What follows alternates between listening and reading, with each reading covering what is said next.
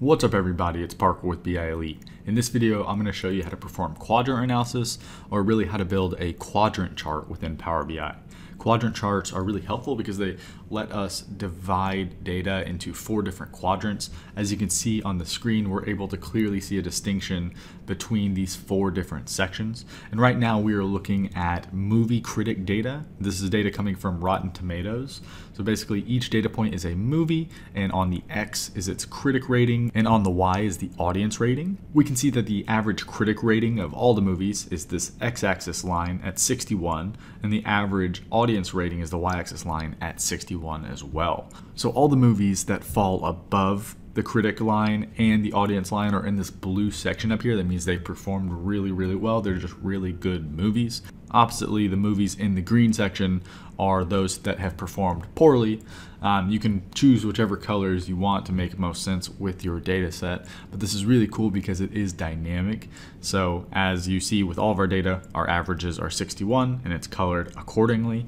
Uh, but if I were to select documentary, for example, that genre of movie tends to perform very well. It has an average critic rating of 82, average user rating of 74. So we have this very highly concentrated area of movies that fall within our really good rating, whereas it's more sparse um, for those that fall below the critic and audience ratings. Oppositely, if we look at the horror genre, those movies tend to perform very poorly. So their average ratings are in the 40s so we can see a much higher concentration of poorly performing movies as opposed to uh, really good movies. So it's really cool to see. So in this video, I'm going to show you how to recreate this exact visual in one alternative form using just the basic scatter chart visual. So let's get started.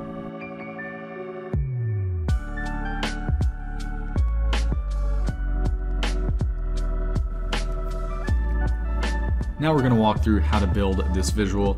If you do just want to download the PBIX file, you can find the blog post in the link down below. There will be a download link on that blog post. So let's go ahead and open up a new tab and I'm just going to create a basic scatter chart and we are going to throw in our data. So I've already preloaded my movie set data here. So we have, um, and on the x-axis, we can take our tomato meter, tomato meter uh, rating, throw that on the x-axis, and let's throw in our audience rating on the y. So if we select don't summarize for each of these, we're now going to have our breakdown of movie rating. So critic rating is the one on the x, uh, audience rating is on the y. Just remember that tomato meter rating is the critic rating. Um, so previously, just to kind of give you a history of constant lines within Power BI, these used to be actual constants. So as of recently, we're able to hook them up to a measure to make them dynamically move. But previously, we would have to just type in 50. Now let's make this black and not transparent. We would have to type in 50. I actually want that to be solid. And it wouldn't be able to be moved. So it would just be static there. But we don't necessarily want that because in case we have maybe a subset of movies that are on a smaller scale, let's say the maximum score was a 45 for whatever reason, it would not make sense to have that static constant line.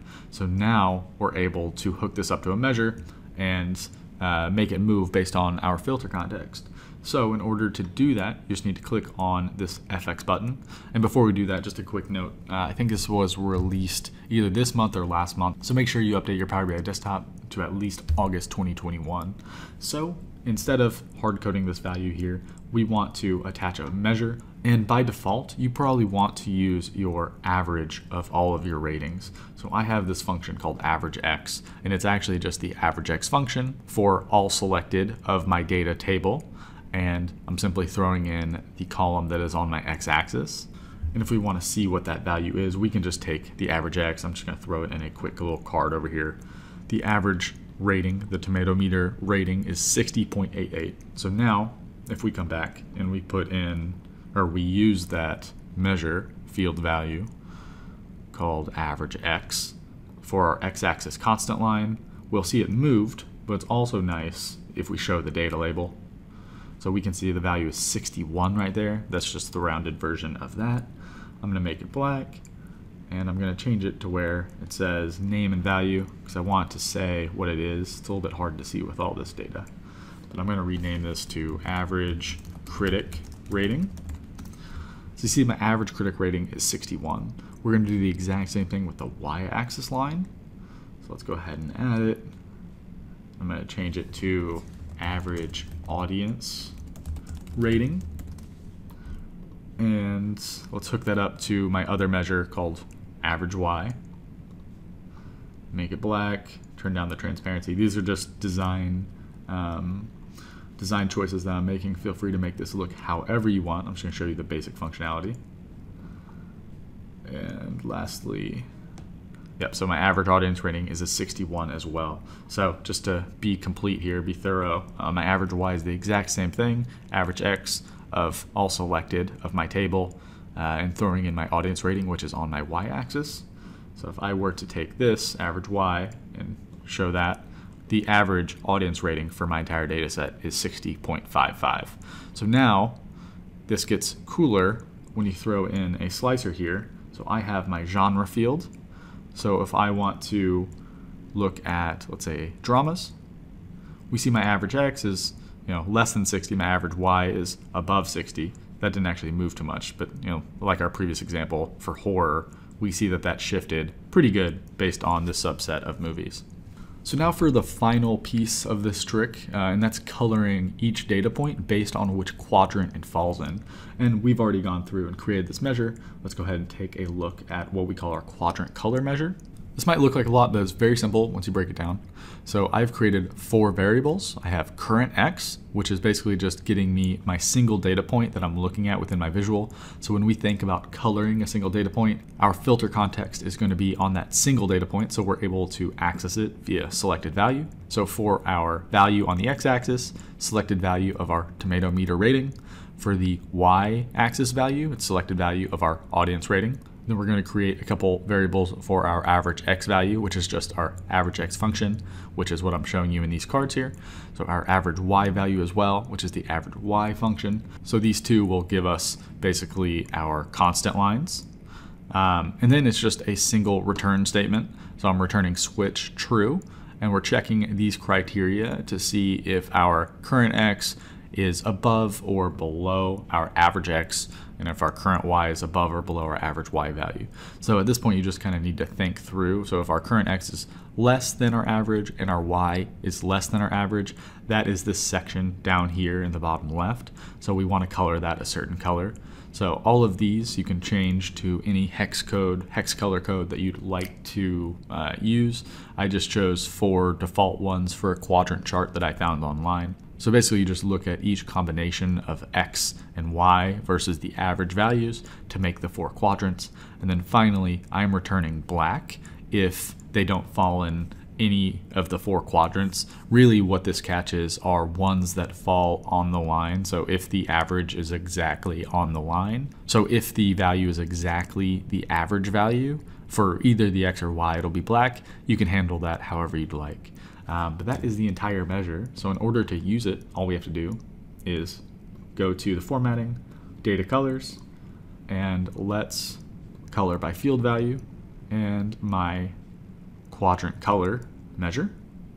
And there we go. It's all colored and it is already dynamic. So that's the entire trick. This produces a really cool dynamic visual. I use quadrant analysis in a lot of my reports, and this just got better because of the new functionality for the constant lines that are now dynamic based on measure. So before we end this video, I do want to share one little item here uh, my preferred method when creating a quadrant chart is to set it up with the dynamic x and y constant lines that are based on average. You don't necessarily have to do that. Doing it based on average is going to ensure that you don't have any stragglers that are going to skew your proportions. For example, if I had one movie whose rating was a 250 for whatever reason, maybe that was a data entry error, the average wouldn't be skewed very much by that single data point. But oppositely, if you want to keep your crosshairs right in the middle of your screen, you might want to employ a different method, and I've created a couple measures for that. So instead of using the average, we can take the middle value.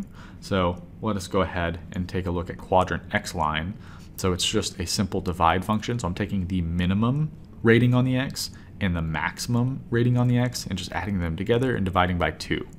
So let's take a look at if I were to switch that let me go ahead and duplicate this page actually. So if I were to switch my x-axis line with my other x-axis measure and click OK, and quickly I'm going to do that with my y-axis as well. So I'm going to make that based on my quadrant Y line. So you can see it's kind of always in the middle. So as I were selecting things, it's more in the middle. The coloring is still based on the other logic. That's why you're seeing kind of the discrepancy there, but I'm just showing you based on the line. So if I were to have a big data point that had a value of 250, our crosshairs would actually be skewed based on that one data point uh, that would kind of put everything out of proportion. So everything would be on the scale of 100. There'd be that one that's like 250, and our x-axis crosshair would be around 125 at that point. So it wouldn't make too much sense. But if you do know your data um, is very clean and you just want the intersection to sit in the middle of your visual, you might want to do something like this. But up to you. I tend to like the approach using the average of the x and y. Um, I think it's cleaner. But that is the entire thing. If you do like the video, make sure you click the like button, subscribe to the channel if you haven't already. It's the best way to show your support of the channel and helps me continue creating Power BI content. If you like the way I explain Power BI concepts, make sure you check out our training over at training.bielite.com. We have some awesome courses on Power BI, DAX, Alteryx, and SQL at the moment, and we're planning on adding more courses real soon. And with that, I'll see you in the next video.